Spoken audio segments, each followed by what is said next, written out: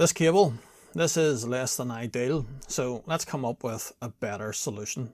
This is the VGA cable from uh, my GBS 8200, which has been modified with GBS control.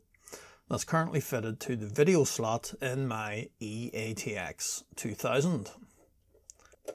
And when I built this, the easiest solution on the day for getting the video cable out was just to remove one of the expansion slot covers and run the wire through. But it's a mess. I don't like it like this, but I've got an idea to fix it. I was looking through my drawer of random cables looking for something for a completely different project and stumbled across this.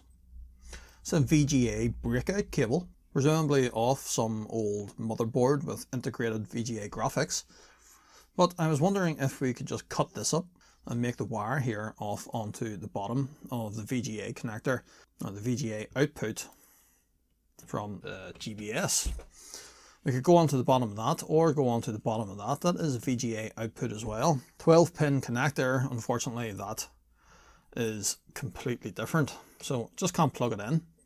But I'm sure we could do something on the bottom side here. So despite having 15 pins, the VGA connector, as far as we're concerned today anyway, it really only carries five signals. RGB on pins 1, 2 and 3, horizontal and vertical sync on pins 13 and 14. I think just for handiness sake it probably would be easier just to make off our ribbon onto this. Pin 1 which is red, shorts through to that point. Pin 2 which is green, is through to pin 3 on this. Pin 3 on the VGA connector, which is blue, should be 5 on this. Horizontal and vertical sync. Horizontal sync is 13. I think it's uh, that one. So 1, 2, 3, 4, 5, 6, 7. And then vertical sync to pin 14 should be 8. And yes, it is. So just a matter of cutting this up then and figuring out which of these cores go to which pins on that. And yeah, just taking a quick look at this, whoever wired this up in the first place, it is done in order. Pin 1 on the red side of the ribbon cable here. That is indeed to pin 1 on the connector and it just runs through. So this should be relatively straightforward. We need the first three, those three, they'll carry the RGB signal. And then we need the two from the end, 13 and 14. Those two, they're carrying the horizontal and vertical sync. Then we just need to pick up a couple of grounds. Now the VGA standard does carry supposedly individual grounds for the RGB and for sync, but in reality on the PCB they are all joined up anyway. So I will take a couple though we can't use pin 4, that's not actually a ground. So we'll just move that one out of the way. But 5, 6, 7 and 8, they're all grounds. So we can certainly make use of those. And I suppose if we're going to the trouble of hooking them up, well we just hook up the other one as well. Which is on pin 10, which is the ground, the sync ground. Which would be that one. So those four, or sorry, those five will be grounds. Time to do a bit of soldering. And the first one we want there is red. Then it'll be green. And then blue. Oh, I didn't tin that one up.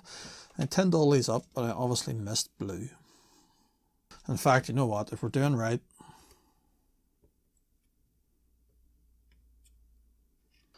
I'm just going to cut these down a wee bit.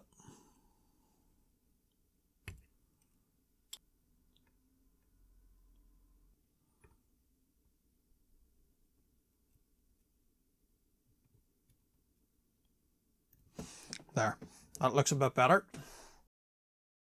Okay, that is it all hooked up. I put this bit of Kapton tape on here just to hold it while I was soldering it. But I think what I'll actually do is just take that off. Maybe move it down a bit. Put it about there. Put that back on. And that'll just help to secure the cable. ultimately this is going to sit in the case.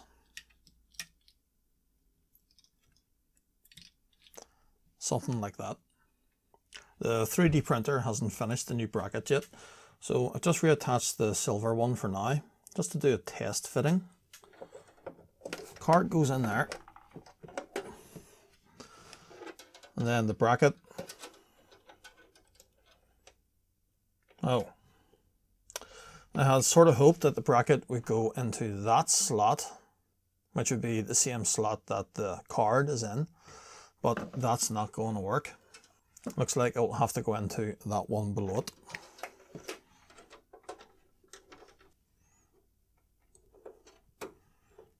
So just move that blank up to that slot that I was taking the cable out through.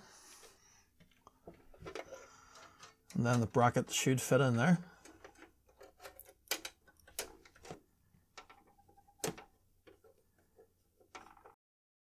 But let's give it a quick test. So monitor on and Amiga on.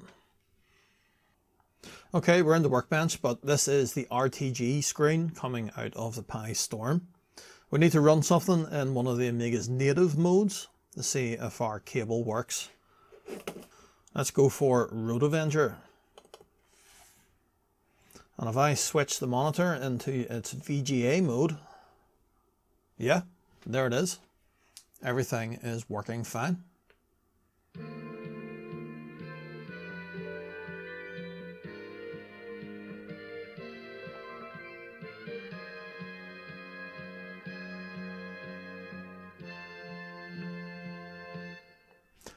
Let's try the 3D printed bracket because it would certainly look better than that silver one. Well, the printer's finished and here is my black bracket, my extended black bracket. And I'm sure you're wondering why is it this shape?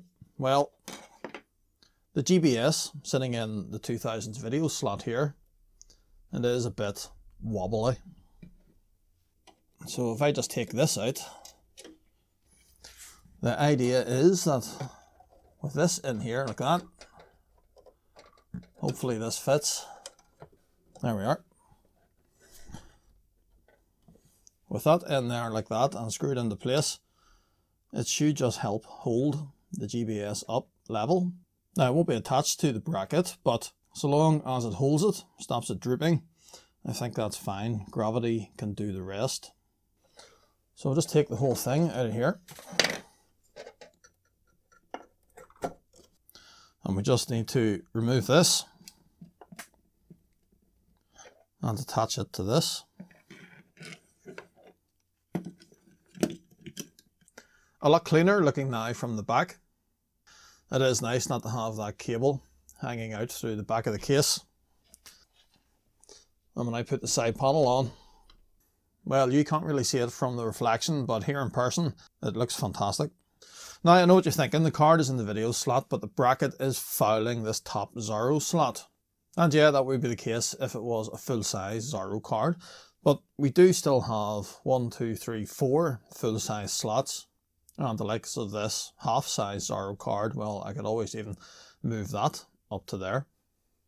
Although I do have another couple of half-size Zorro cards yet to build. In fact, I think I've only got one full-size Zorro 2 card to build for this machine. So in reality, I don't really think it's going to cause any problems. Well, that's it for this mini build video. If anyone wants to print that bracket for themselves, I'll leave a link to it down in the video's description. You can download it from Thingiverse, but really only suitable for use in this setup with the EATX 2000.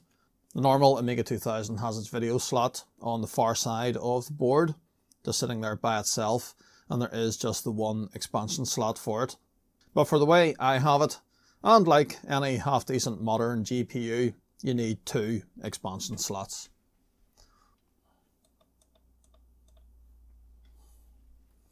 See you in the next one.